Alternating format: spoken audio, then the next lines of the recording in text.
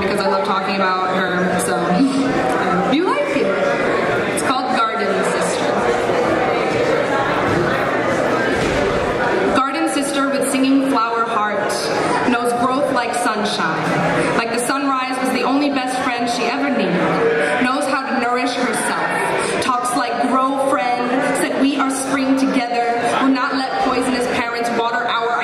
down, gives me shade from the harshness she saw coming.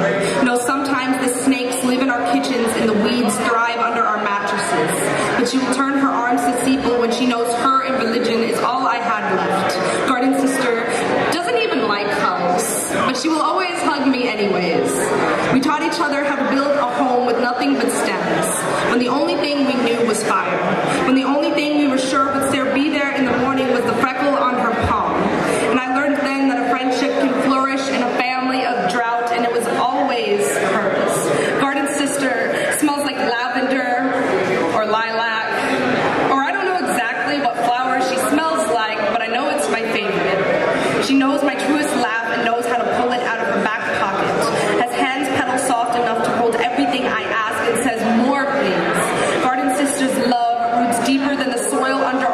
feet, and every time she says an old joke, I wonder how I lived three years before my mother planted her. The Garden Sister turned 18.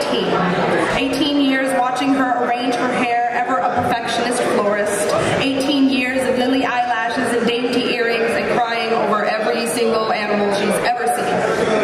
And she might be grown up now, but I don't want to know a life without her gap-toothed smile and green thumbs. With her, every morning is a sunrise regardless of the weather outside. Every stolen shirt is another I love you, and I know every frustrated breath is another forget-me-not wish. My mother named her Isabella, my mother named her beautiful, and she is so, so beautiful. It makes my life so beautiful every night I think it isn't. So Garden Sister provides every bit of oxygen I've ever needed to breathe. She is the flower